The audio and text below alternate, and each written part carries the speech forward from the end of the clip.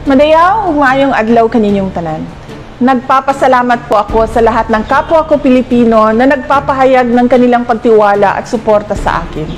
Suportang hindi lang nagmula sa Luzon, Visayas at Mindanao, kundi pati nasa ibang bansa sa pamamagitan ng mga kababayan nating OFW. Totoo po iyon. Nagkakaisa tayo na gustong makita ang maliwanag na kinabukasan ng ating mahal na Pilipinas.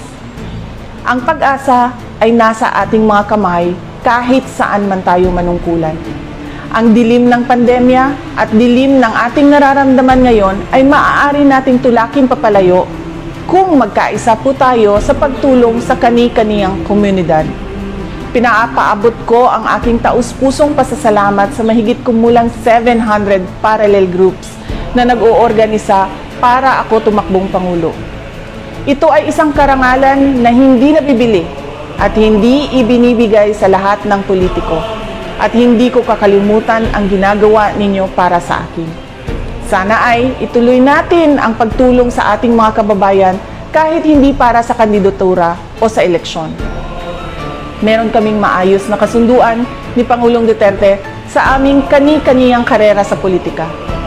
Ibigay po natin sa kanya ang pinakamalakas natin na suporta sa kanyang desisyon na tumakbong Vice President.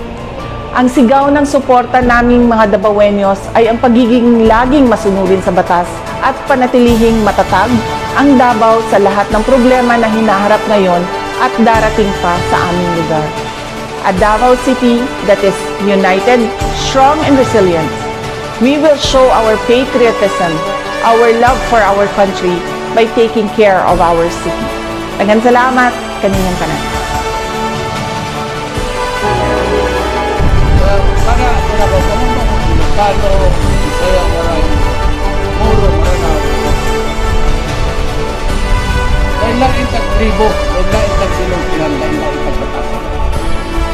Ang gagunit sa atong nasong kanira.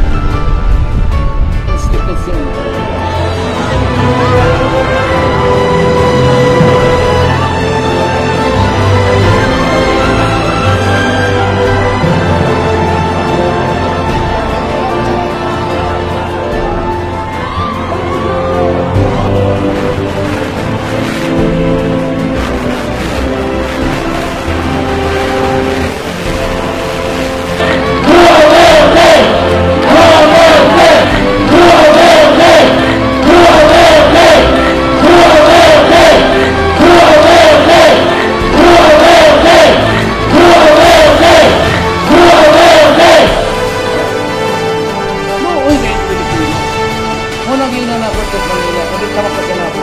Di ka makasanabi. Mag-away na tayo.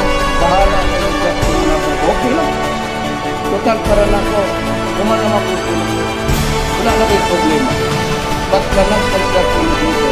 Ang day, huling ko